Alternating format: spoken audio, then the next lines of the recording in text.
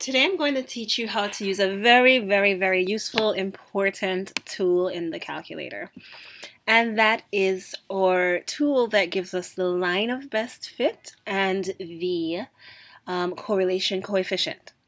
Now, if you don't know what these things are, I'll give you a brief idea. Um, there will be another video somewhere that gives you a better idea, but I'll give you a brief idea for now. So imagine you surveyed some students in this case, just to make it really easy to enter. I only surveyed five, but realistically, if you're doing a real statistical study, you'd want to survey more than five students. So the questions that I asked were how many minutes do you spend on your homework and what is your GPA? So a student who spent 100 minutes on his or her homework had a GPA of 70 and these are the results for all five students. So I want to know, is there an actual relationship between homework and GPA? So it seems like there is. From just looking at it, it looks like as the minutes go up, so does the GPA. But we're not exactly sure. Like these numbers are pretty predictable, but we're not sure how good that relationship is. So there is a number that actually tells you the strength of the relationship of any two sets of numbers. And that number is called our correlation coefficient, also known as R. So we're going to look at how to find our correlation coefficient. And that's not the only thing that we're going to find out today. We're also going to find out what's the if there is a relationship, what's the relationship? So what is the relationship between in this case minutes spent on homework, which is our x, and GPA, which is our y? Like what exactly is the relationship? So, in order to find these things out, we're going to go into stat in our calculator and we're going to enter those values. So we go to stat and we have to edit or list. So we press edit. In this case, we have no numbers in our list, so that's great. But if we did, we would have to clear those numbers by going up to the top, highlighting L1, and we'd have to press clear and enter Of course, that did nothing because we had no numbers there, but just in case. Okay, so now we're ready to put in our values. And in L1, we will put our x values. So we have 100 first, and we have 210, and uh, 240. My 1 is blacked out. Let's hope we don't need that. 320 and 330. And that's all we have in our L1.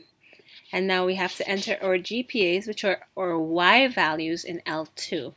So we have 70, 88, 92, 93, and 95. Okay, so once we have our enter our numbers entered, what we're going to do is calculate the best fit regression line, the line of best fit. So in order to do that, we have to go to stat and we're calculating the line of best fit. So we have to go to calc and then we go down to number four where it says L-I-N-R-E-G, which stands for line of regression. And it's going to give us the equation of a line in this format that relates our minutes or X to our GPA, the Y. So once you're there, press enter and just make sure everything looks good. It says or X values are in L1, that's accurate. Or Y values are in L2, that's also accurate but it says we have frequencies in L2 as well. And that is not the case. We do not have frequencies in L2. So we have to we have no frequencies to list. So we just clear that. Um, of course, this is the new version of the calculator. If you don't see this, that means you have the old version of the calculator, which I believe you would see uh, this display instead. L-I-N-R-E-G parenthesis um, I believe that's what you see. Um, so whatever you see, you don't have to do anything. You don't have to press L1, L2. You can leave it as is and just press enter. And for those of you who have the new calculator, once you're here, you have L1, L2, and a blank frequency list. Press enter to calculate. But there is something missing. So we can actually answer question two because this is our equation of our line. So let's put that in. So the equation of our line is, we can insert an equation here, y equals, and we have a a value, or a value is 0 0.101. So it says ax, but we have our a value. We don't have to put a. It's 0 0.101 x plus b plus b, but we have our b value. It's 63.3, so we can put that in there. And that's how x is related to y. So that basically is saying the same thing as I could put this in in words. y, in this case, y is GPA. So GPA is equal to 0.101 times X is minutes on homework. Minutes plus 63.3. All right, but we still have a problem here because we still don't have our correlation coefficient and we need it. Um, so you may see it in your calculator or you may see nothing, just like I'm not seeing anything here. It should have shown up.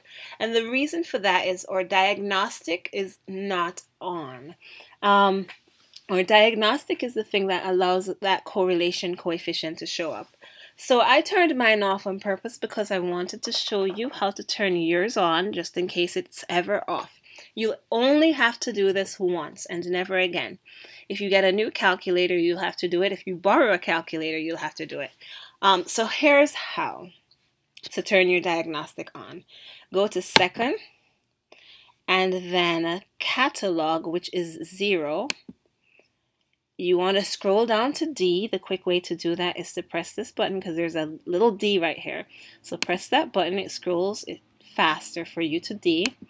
And then you want to go down to diagnostic on. I'm going to take my time because I don't want to pass it. Diagnostic on.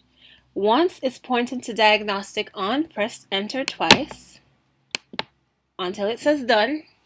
Now, if you go back to stat, calc, and line reg, you should end up seeing your r squared and r value. Let's see if that worked. And there you go. Our R value is 0.933. And what that implies, 0.333, what that implies is that sorry, 933. That implies that there is a strong correlation between these two things. Um, the closer you are to 1 or negative 1, the stronger the correlation. But the closer this value is to 0, the weaker the correlation. So because this number is very close to 1, there's a very strong correlation here.